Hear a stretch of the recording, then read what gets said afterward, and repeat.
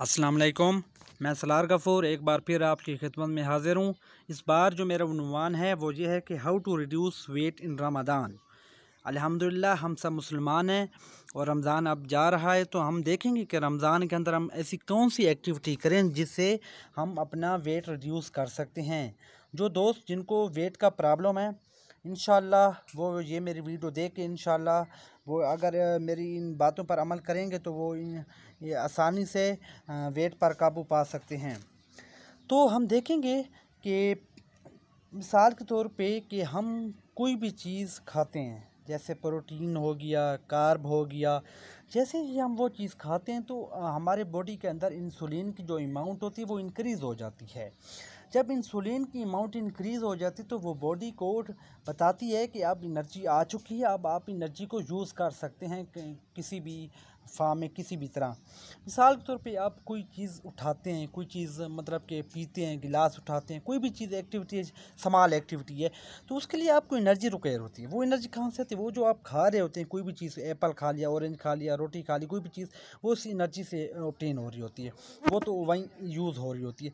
बाकी जो एनर्जी होती है मतलब आप खा रहे हैं, खा रहे हैं, कोई भी फ़िज़िकल एक्टिविटी नहीं कर जो बाकी एनर्जी रिमेन हो रही है, बच रही है रिमेनिंग एनर्जी जो है वो ग्लैकोजन की फार्म में स्टोर हो जाती है। लिवर के अंदर।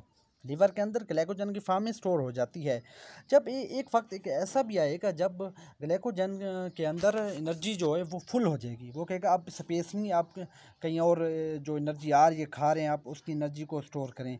तो वो एनर्जी फ़ैट की सूरत में लीवर के अंदर स्टोर हो जाएगी। हमें ये पता होना चाहिए इंसुलिन का मेन फ़ंक्शन इंसुलिन का मेन फ़ंक्शन होता है लिपोलाइसिस मतलब ये कि जब तक इंसुलिन की अमाउंट इंक्रीज़ होगी, वो फैट को बर्न से बचाता है प्रिवेंट करता है, वो कहता है फैट बर्न ना हो।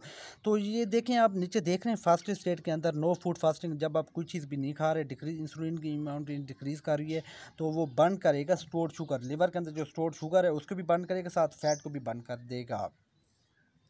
तो ये ना फास्टिंग के अंदर आपकी जो बॉडी होती है, वो शुगर को भी बर्न कर रही होती है, क्योंकि आप 10 से 12 घंटे तक तो ग्लाइकोजन आपको एनर्जी फ्राहम कर रही होती है, आप कुछ भी नहीं खा रहे होते। उसके बाद जो है, वो एनर्जी आपको फ़ैट से हासिल होती है। तो फैट से हासिल होती है। थ्री मतलब कि हाउ टू बर्न जो हमारे पास फ़ैट होता है, उसको बर्न करने के थ्री वेज होते हैं हमारे पास। पहला वेज जो होता है, वो एटीपी होता है। दूसरा वेज जो हमारे पास होता है, वो होता है ग्लाइकोजन और तीसरा जो वे होता है, वो होता है फ़ैट जो एटीपी होता है एटीपी होता है मतलब कि कोई भी चीज़ आपने खाई, वो तीस सेकंड तक आपको एनर्जी फ्राहम कर सकती है। मतलब आपके कुछ भी खाया, आप थोड़ा सा चले, आपको वही एटीपी जो आपकी खाई है, वो एनर्जी आपको ऑप्टेन हो जाएगी।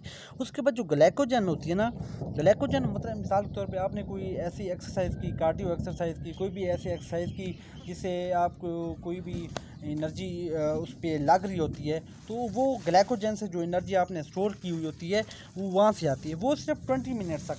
मिसाल के तौर पर आपने कार्डियो एक्सरसाइज की, कार्डियो एक्सरसाइज ट्वेंटी मिनट्स तक आपको वो एनर्जी फ्राहम करता रहेगा।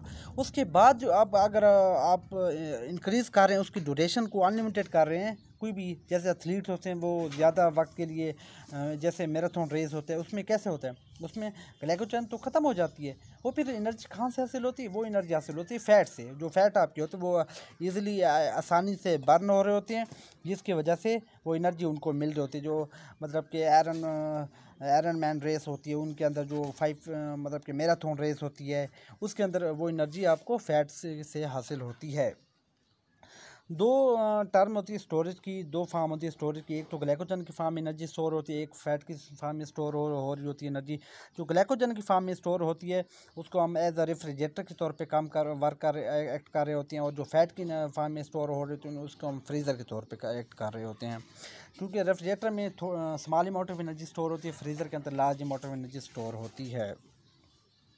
हमें कैसे पता चलेगा कि कोई शख्स हेल्थी है या अनहेल्थी है, वो बॉडी मास इंडेक्स के ऊपर डिपेंड करेगा। बॉडी मास इंडेक्स कैसे कैलकुलेट किया जा सकता है? किसी भी पर्सन, उसका कोई भी जितना भी वेट है, मिसाल के तौर पर उसका सेवेंटी के जी वेट है, उसको हम डिवाइड करेंगे, उसकी हाइट पे, जितनी भी उसकी हाइट है, उस पर डिवाइड करेंगे तो उसमें हमारा बॉडी मास इंडेक्स हमें मिल जाएगा। उसमें जो नॉर्मल बॉडी मास इंडेक्स होता है, वो होता है एटीन पॉइंट फाइव से अगर twenty four point twenty four point nine तक अगर आपकी वैल्यू आ रही है बॉडी मास इंडेक्स की तो इसका मतलब है आप एक हेल्थी मैन के उसके उसके, उसमें आ जाते हैं। हम रिड्यूस कैसे कर सकते हैं फ़ैट को? हम इस तरह रिड्यूस कर सकते हैं कि अफ्तारी से वन आवर बिफ़ोर हम कोई भी एक्सरसाइज करें। मिसाल के तौर पर उस वक्त हमारी ग्लाइकोजन ख़त्म हो चुकी होती है। अब जो जो भी हम फ़िज़िकल एक्टिविटी करेंगे वो फ़ैट से बर्न होगी। फ़ैट से हमें एनर्जी मिलेगी। हम अफ्तारी से एक घंटा पहले कोई भी एक्सरसाइज करें, कोई जॉगिंग करें, कोई रनिंग करें तो उससे जो हमारी एनर्जी मिलेगी वो फ़ैट को बर्न करें इस तरह हम अपनी जो वेट है वेट पे हम कंट्रोल कर सकते हैं। एक्सरसाइज करके बिफ़ोर अफ्तारी।